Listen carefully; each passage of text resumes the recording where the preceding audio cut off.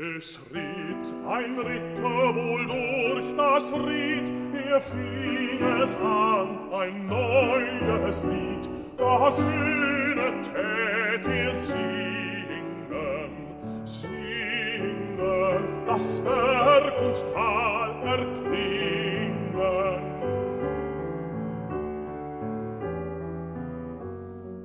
das hört des Königs sein Töchterlein in ihres Vaters Lustkämmerlein. Sie flocht ihr Haar in Seiden,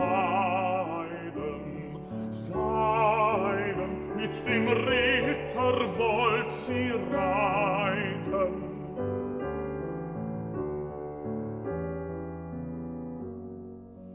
Und da sie ihn Wald rauskam, viel heiße Tränen sie fallen ließ.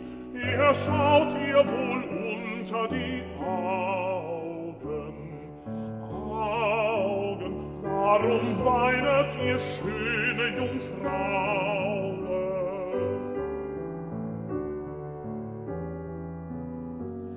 Warum sollt ich nicht weinen?